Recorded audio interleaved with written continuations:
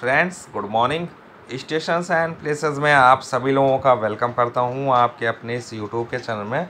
आज के इस वीडियो में हम आप लोगों के लिए दुधवा नेशनल पार्क के अंदर पड़ने वाले दुधवा रेलवे स्टेशन का व्यू लेकर आए हैं। जंगलों के बीच में ये रेलवे स्टेशन पड़ता है।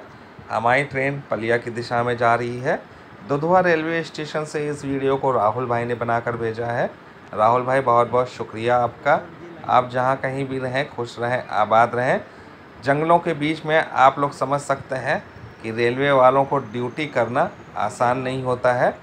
अक्सर जंगली जानवरों का भय बना रहता है।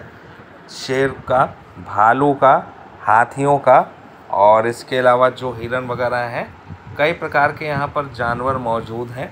अक्सर यहाँ पर 15 नवंबर से 15 जून के बीच में सैलानी आते हैं। और जंगली जानवरों का दीदार करते हैं। हमारी ट्रेन देख सकते हैं फ्रेंड्स। डिपार्ट हो गई है दुधवा रेलवे स्टेशन से पलिया की दिशा में। इसके अलावा मैलानी नानपारा गेज कन्वर्जन से संबंधित हम आप लोगों के लिए एक फिर से छोटा सा अपडेट देंगे।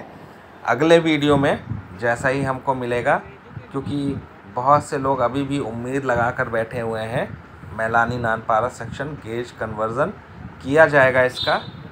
तो इसके पुख्ता हम आप लोगों को जानकारी देंगे। अगले वीडियो में, हालाँकि हम कई बार पुख्ता जानकारी दे भी चुके हैं। दूसरी तरफ़ का व्यू हम आप लोगों को दिखा रहे हैं, तीन ट्रैक हैं, यहाँ पर देख सकते हैं। और बिल्कुल वनों के बीच में ये रेलवे स्टेशन स्थित है।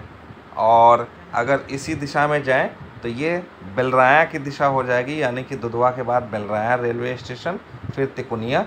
और हमारी जिधर ट्रेन चल रही है, वो पलिया रेलवे स्टेशन की तरफ़। वीडियो अगर आप लोगों को पसंद आया तो वीडियो को लाइक जो कीजिएगा शेयर कीजिएगा। चैनल को ज़रूर सब्सक्राइब कीजिएगा। ज़्यादा से ज़्यादा अगले वीडियो में मिलेंगे एक नई अपडेट एक नई जानकारी के साथ। जय हिंद, जय भारत।